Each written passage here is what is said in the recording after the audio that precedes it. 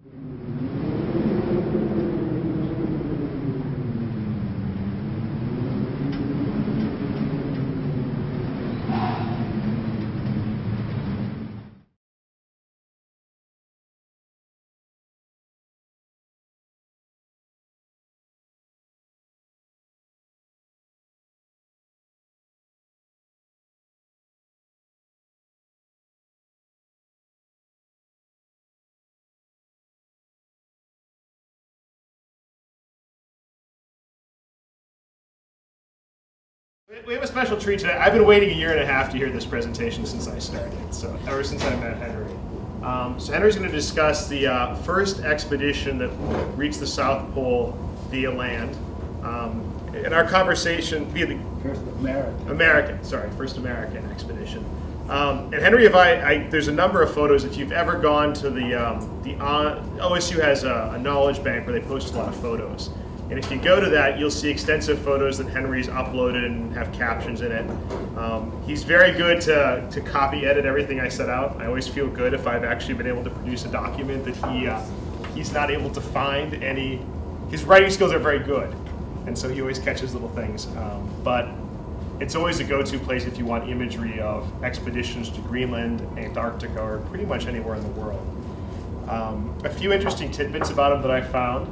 Um, he does have a scholarship named after him at, at Byrd Polar. He also has a glacier named after him that feeds into the, the Byrd Glacier in Antarctica. So you do have a, a, a link on Wikipedia. What's that? And also a mountain. I did not know about that. So he also has a mountain. so you probably have a second post for that on Wikipedia. Um, and uh, officially, and, and I told him I'd have a, a, hard time pronouncing this just because it doesn't roll off my tongue. He's a photogrammetrist, um, so, and uses images to create maps. Uh, Wes and I like to joke that if you ever see some of the images that he draws, he can look at a topo, an image, and trace a topo map, cross-hatch it, label it, and you'd think it came off a printer. In fact, sometimes we have to flip it over to look at the back to see if there's actually ink that's bled through to tell us he's penned it by hand. Um, your, your drawing skills are so good. And he can do that just by eyeballing in freehand. So with that, I'll turn the program over to him, and he has some phenomenal slides. Thanks very much, Jason, and thank you all for coming. Uh, it's going to be, by the way, this is long before photogrammetry. I never, I don't think I had heard the term but back then. And back then being 53 years ago is absolutely appalling to me that have lived this long, but also of interest. The reason I labeled it ancient history is because I figured that most of the audience would not even have been born when this uh, event took place. So uh, without further ado, let me go through the slides. And incidentally, uh, there's precious little science in this. It's strictly a slideshow, uh, uh, and well, to me it was an adventure.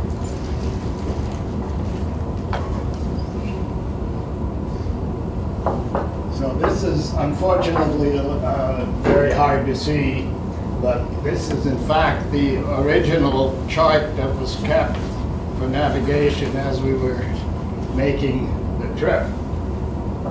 And um,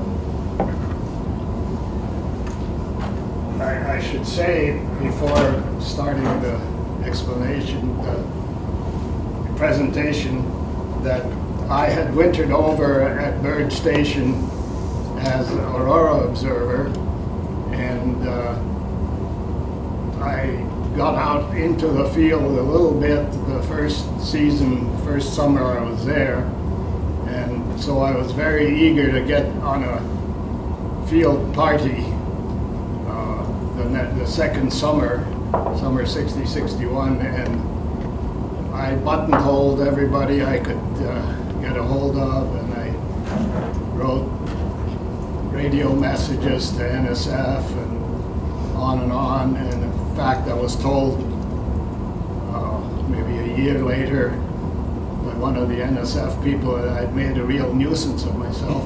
and, uh, the upshot, however, was that uh, I am sure I would not have been invited to go uh, because of all this effort. What happened was that the Army major who was in charge of this trip uh, wanted to show that there was some science being done as well. And he had two empty bunks in the uh, sleeping Wanigan. So he asked for two people to, to come, two scientists to, to come along. And the University of Wisconsin sent, sent a uh, graduate student who was doing geophysics, gravity measurements. and because I had been pestering people, I got to go. uh, so the trip from uh, Byrd to Pole was depending on whether you believe me or what I copied, of course, from the Navigator, or whether you believe the National Geographic magazine map. The distance, according to the Geographic, was 806 miles. Uh, according to my, my, diary, it was 829. Uh, the we departed Byrd Station, which is down here, and went along pretty much south uh, west, southeast, sorry, and uh, had to go around the Horlick Mountains, around the Thiel Mountains, and then once we got past that, we went more or less straight down the meridian to the pole.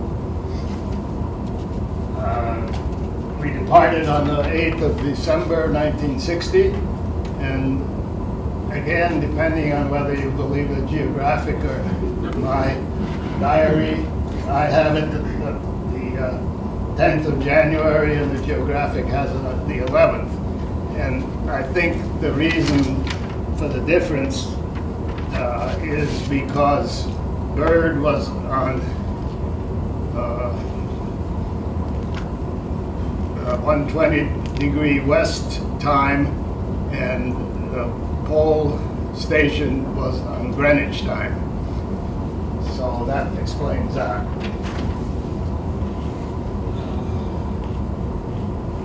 Let's see, was there anything else there that I should tell you? Well, the, the uh, speed of the vehicles was very slow. This, this was, the purpose of the whole trip was in fact to transport two D8 Caterpillar tractors with uh, low pressure treads from Byrd Station to the South Pole to be used uh, for construction. And these things were 30 some tons. So rather than disassemble them and fly them, uh, the Navy decided that it would be better to drive them.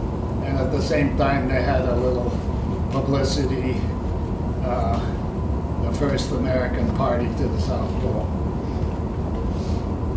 Uh, when I started out on this uh, quest to go, I, I tried to propose some things I could do on the traverse, and I proposed weather observations as the first thing, and then the idea of doing some glaciological work came along, and Dr. Richard Goldthwait, who was the founder and at that time the director of the what was then the Institute of Polar Studies, found out that I was going to go on this expedition. He happened to be there with a field party, and so he said, well, if you're going to go, you might as well do something useful. and uh, so he dug a pit Byrd Station, two meter pit, and he showed me the sort of standard routine to do in a pit. And uh, I wound up doing 25 pits in the 34 days that it took for the trip. And uh, in addition to that, I uh, we I shouldn't say I because I didn't do it. One of the radio men who was driving the Weasel did it, put out accumulation stakes every five miles. And uh, see how many there were.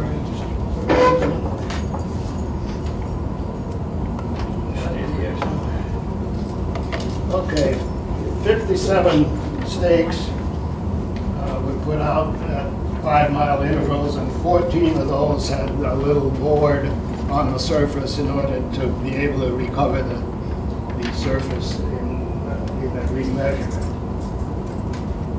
So here I am preparing the uh, accumulation stakes, uh, putting numbers, tags on them to, so they can be identified.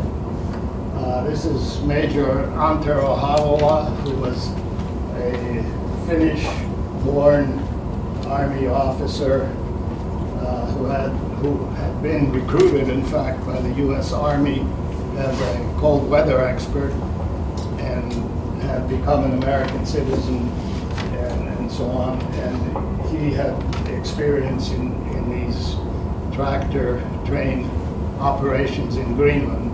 So he was the leader of the party deputy leader and navigator was a chief warrant officer. So here we are at Byrd, getting ready to go, and I should possibly tell you also that of the 11 people who were on the field party, five were winter overs from Byrd Station, and six came down for the season, and so there was Major Havola, the leader, and the navigator, and three uh, bulldozer drivers. And the, the six of us from Byrd were, were uh, cook, two radio operators, uh, the chief mechanic, uh, well, how many have I got there? Sorry.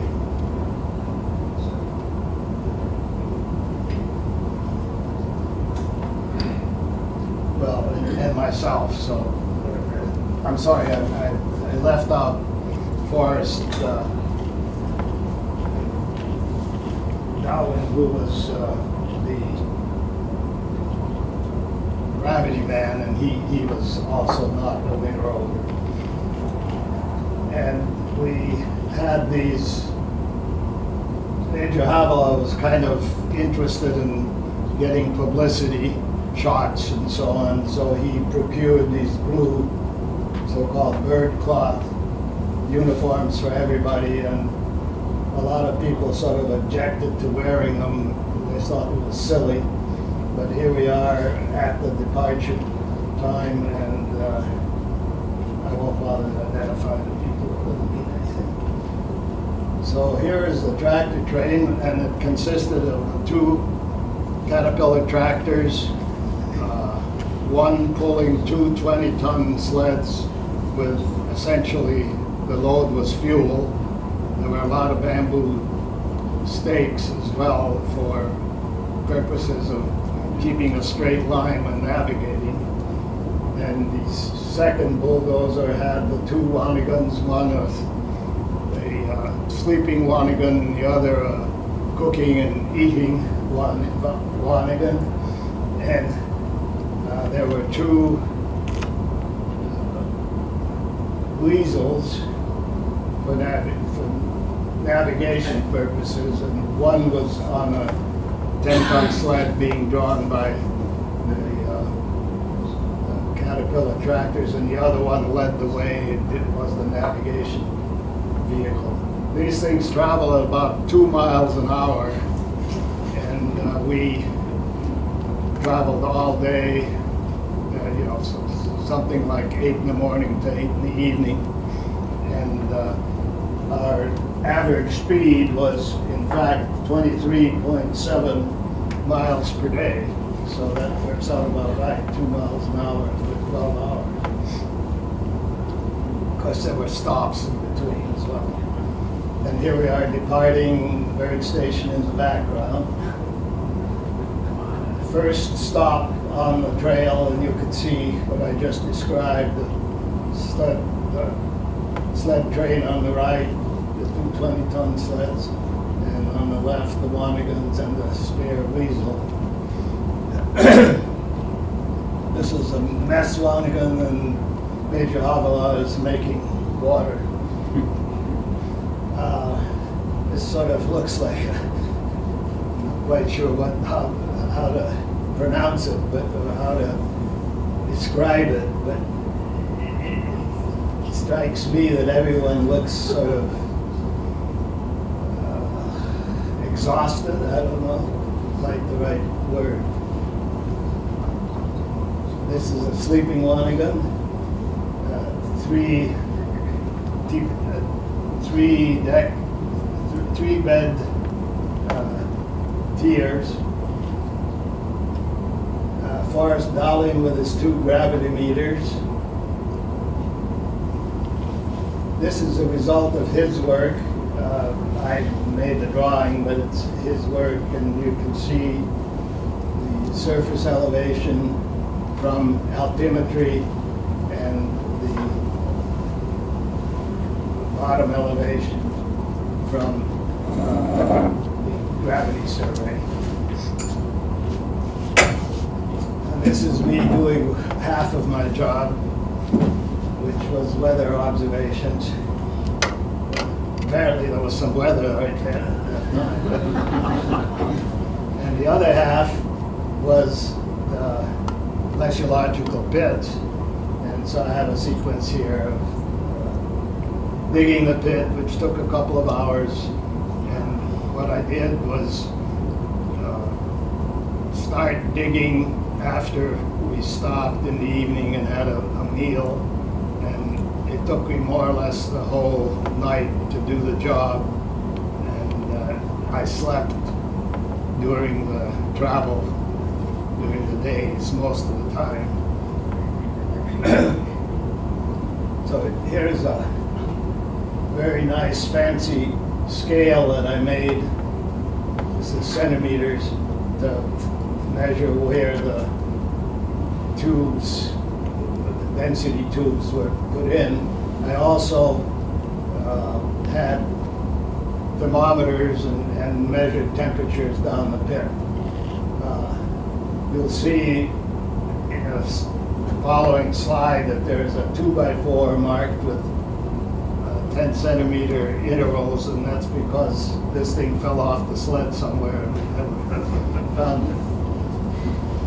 And the standard technique for uh, for a pit was to make density measurements that overlap using these cylinders. You, you knew the tare weight of the cylinders. And this is a dietetic scale, measured the, weighed the thing, and then computed the amount of snow and, and so on.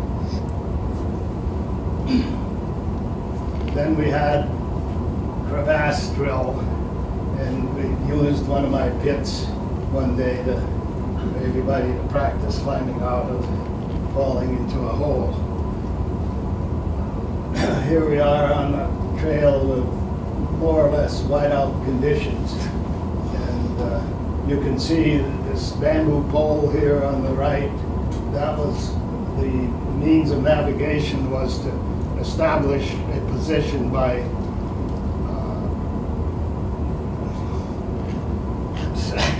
uh, solar observations, astronomic position, and then pick a direction to go in start out in that direction and the navigator would look back and line up these poles. Every quarter of a mile he had a pole.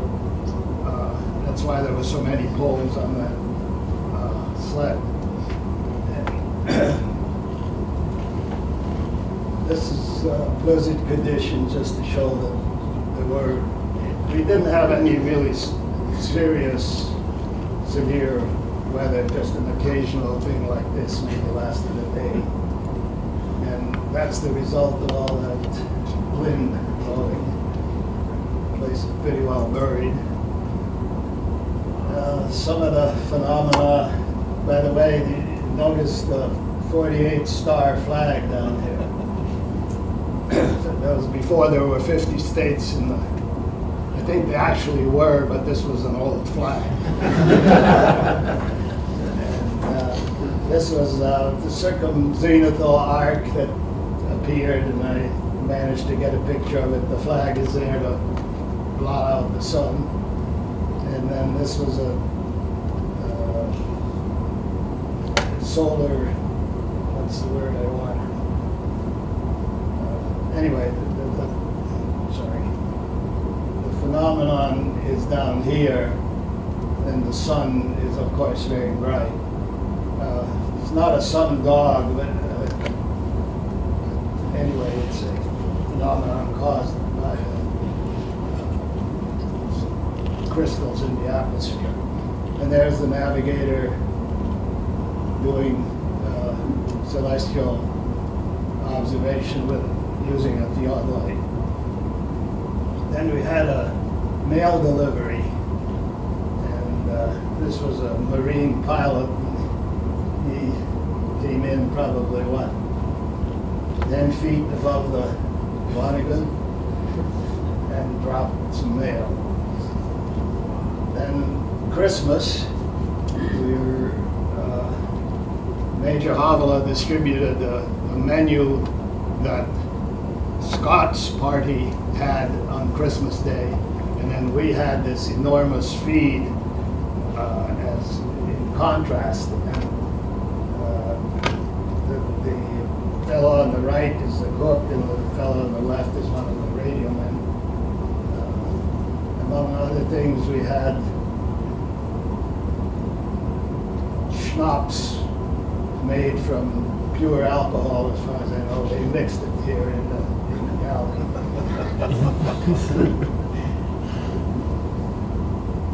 and here we're getting to the Thiel Mountains on the horizon there, and this happens to be one of the rougher places, a, a downward, downhill uh, track.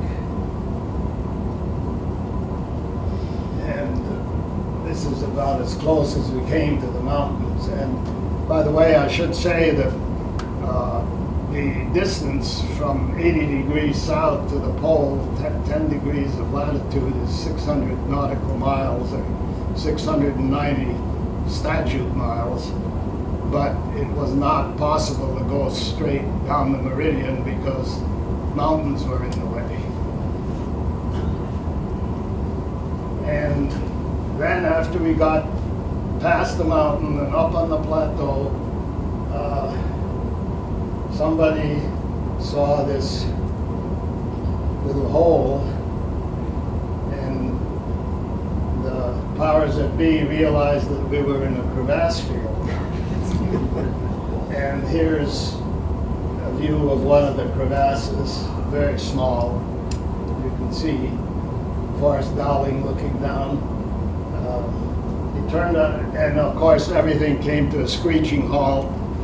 This was at, uh, let's see what the, got it here.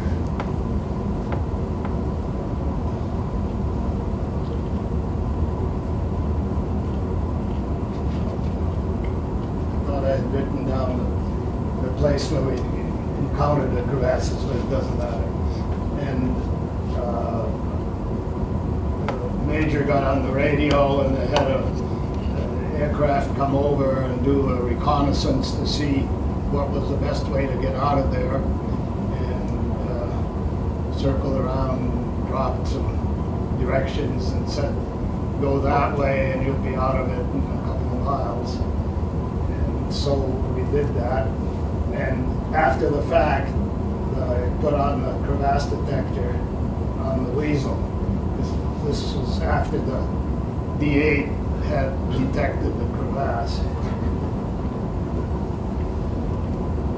So here's my uh, two by four replacement from a nice plexiglass scale, and you can see in my two meter pit, there's an incipient crevasse starting at bottom there.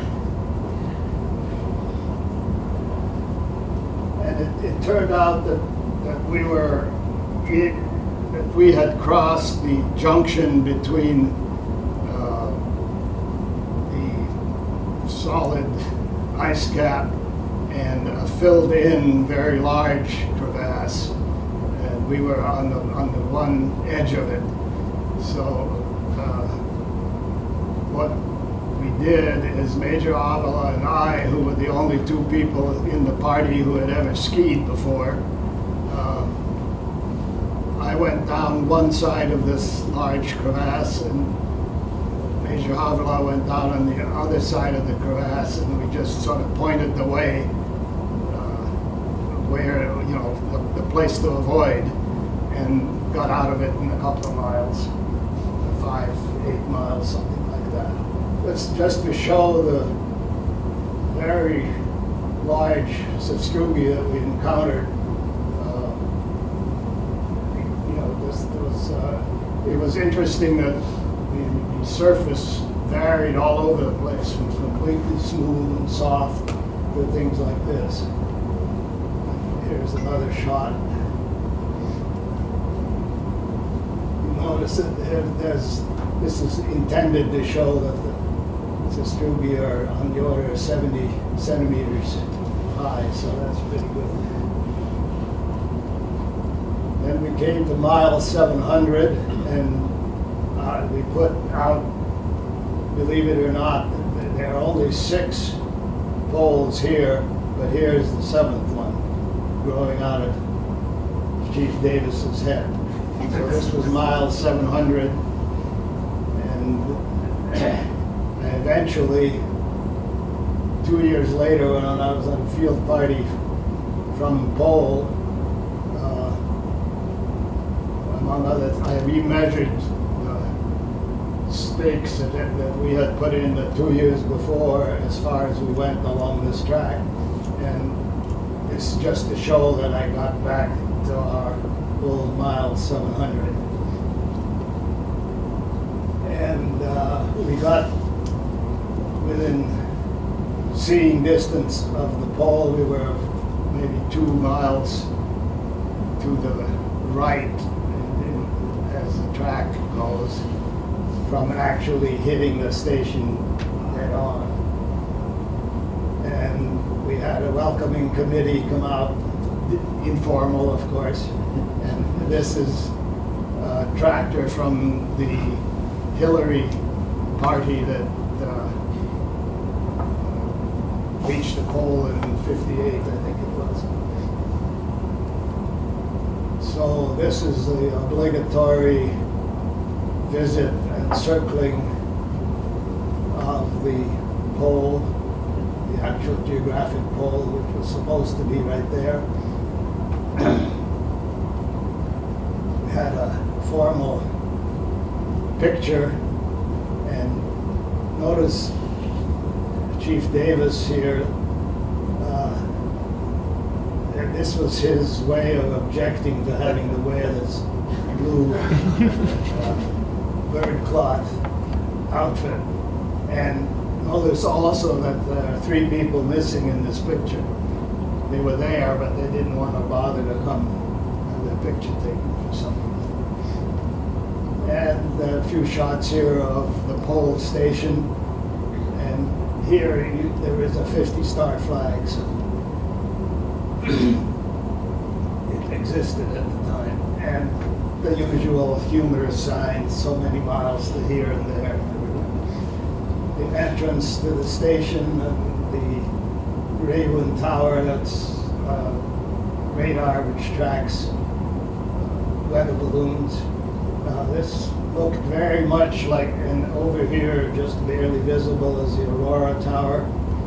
Uh, Very similar to what we had left at Byrd, same kind of environment and construction.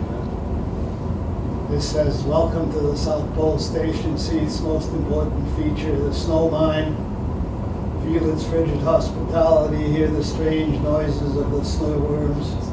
Smell its fragrant aroma. Taste its century-old melted snow, and something, nothing less."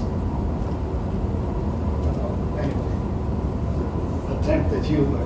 And thi- this is uh, typical of the way the stations uh, were constructed. The, the buildings were placed a certain distance apart and then roofed over. And as the years went by, people had to put in sort of jury rig supports to keep uh, the roofs in place. Uh, Typical quarters. This is the snow mine they wanted you to look at. This was done in the uh, IGY, and I don't know the, the depth, but it went down about at a 45 degree angle, and something on the order of 50 meters perhaps.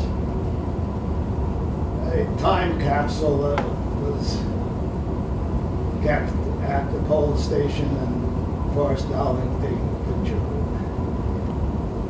it. And then it was time to go home.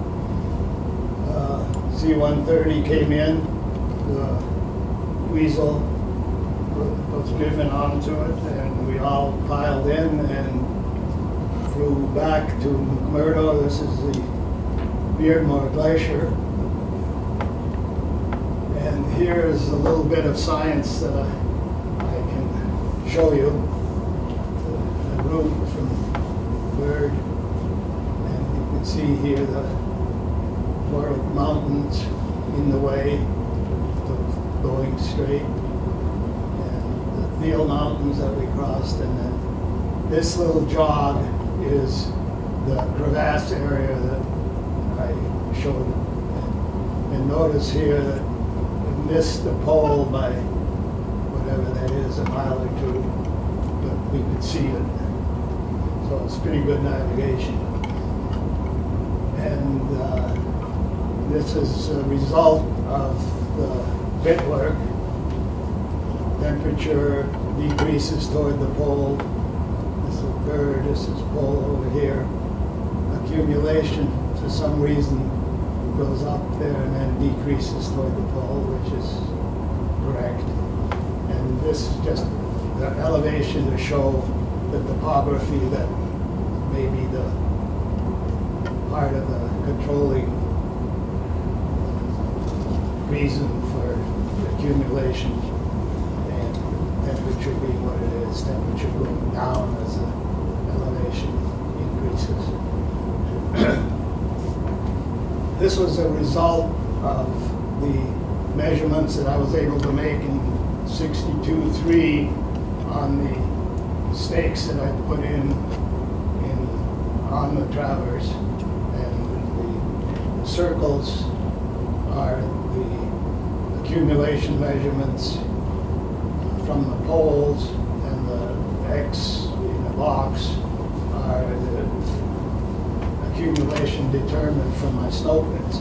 You can see there's quite a lot of scatter, but there is a definite trend as well. And uh, to end the show, we got a mention in the New York Times. U.S. ground team is at South Pole. So there you go. Thank you very much for your attention.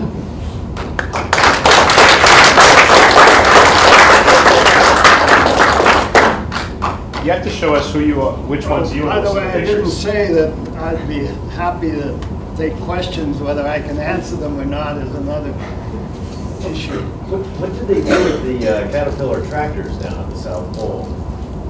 Uh, They they needed them for construction of a new pole station. Okay.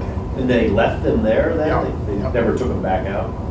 Uh, Did they? Probably not. Did they shut them down at mean, the, the way the Navy operated, you know, I mean, this was at a time when the- all the support was military, Navy, and typically of, of military thinking or, or way of operating, a lot of, there was an awful lot of waste and so on. And I'm not saying that the bulldozers were wasted, but I don't think there was ever any attempt to recycle them. Right. Ellen? Well, just to follow up, I have the feeling that, you know, that type of equipment runs for decades. Yeah, oh yeah, And oh yeah. That, and once they put in the, the nineteen seventy-four station, which was above ground, there was constant, um, you know, gardening and, and landscaping around. And those things, those, uh, those, uh, uh, caterpillars would run, I mean, they would landscape twenty-four hours a day. Oh, yeah, and they leave them running, too. Okay, sorry, go ahead. Yeah, I'm working with uh, some students to edit. Can you speak up a little bit? Yeah, I'm working with some students to edit a journal from uh, Ernest Lockhart kept during the 1939, 1941 um, United States Army. I still can't hear you out. I'm sorry. I'm working with some students to uh, edit a journal that Ernest Lockhart kept during the 1939-1941 uh, expedition. And the journal includes some telegrams. You mentioned the radio operators. Uh, Were you receiving, uh, could you receive commercial telegrams through the Navy? Don't really know. I know they had a teletype. Uh, They were definitely official messages and for a long time by teletype. But the radio establishments, they couldn't, they just nothing. Receiver transmitters, they stayed on the shelf. They- Communications were improved a lot. uh, Just a year after, in fact, the summer that we were on the Traverse, there was a big party, the CDs that came down and built new antennas and so on to improve the communications. Yeah, Ellen? The, the uh, snow mine or the tunnel or, the- do you know, uh, is that the one that Mario Giovinetto did the long Yes. history of annual layer Right, thicknesses? and I can't, unfortunately, I should have looked up the depth of that thing, but it was pretty deep. They dug that over the winter. I think we had several people working on it day and night. Okay. I noticed Ellen that- has another one. Oh, yeah, well, I, I could probably have lots, I won't have too many though. I noticed on your plot where you had the accumulation based on the poles and the pits, but you didn't have any observations right at pole. Did you? No. Do, it? you did not do a pit there? No, I did not. And there was a snow mine there. Yeah. I know. Two years, I couldn't compete with that. No, but I mean, there was, I think, the, you know, the information was well known. It's Two years after the eighty-five, so. And one more question. So when you got there, so there was the station that was under the snow, that was a legacy from IGY, right? Right. And so then they, they built another, s- so the, the cats were coming in to build the next station. Right. And That that, was Before the dome. okay, so that was the, really the second South Pole Right. station, okay. And it was underground too. Yes. So do we get to have you point out yourself in the photo? Uh, which person was you in the photo? Which one was I Yeah, in the photo? On the extreme left, if you. Go back to that. I mean, the photo at the pole. Yeah.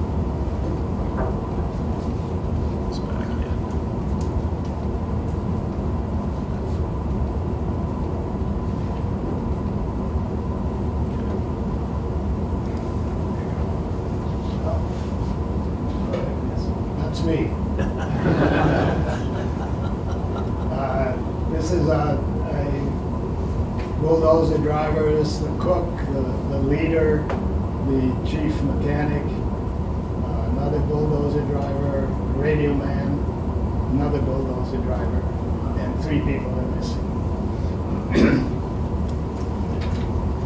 Okay, well, thank you very, oh, I'm sorry, go ahead. Henry, whatever happened to that time capsule, you know, is it still at the pole? No idea, but uh, it was placed there presumably just to, to be there in perpetuity until, you know, the the world collapses. So what was the temperature in the sleeping quarters? Uh, That's, I thought I was going to get that question, uh, and I really don't know. I, I was a guy who, who measured the temperatures because I, I did the meteorology so-called, but I can't, I, I don't have a record, and I, I don't remember what it was, but in general, it, it wasn't particularly cold, It's certainly not by Antarctic standards. Did you, did you stop the tractor? Did you stop the movement if you were out in a blizzard, or you just kept going? Oh, no, we stopped in the blizzard. David? Um, Henry, you, you had a slide with your science on it and the elevation on the bottom. Where is the Thiel Mountains on that elevation traverse? I think it's the second I'm last. Not sure whether they're on there or not. No, they, they weren't marked, that's why I'm asking. Oh, okay, well, then I can tell you approximately where they Oh, are. no, no, no, it was the next to last slide, I think. Right.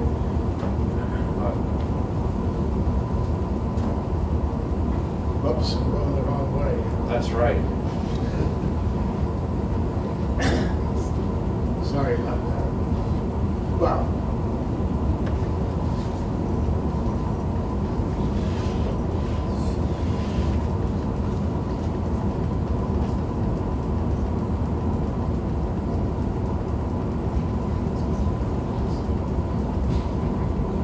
Okay, just gone by. Yeah. So, Oh, that's the traverse, whereabouts is they're the, about, uh,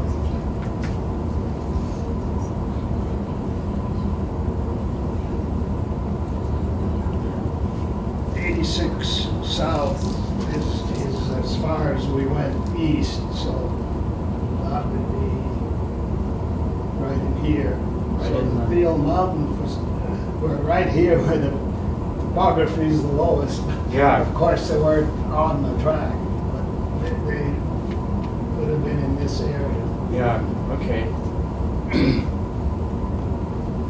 All right, well, thank you very much for your attention.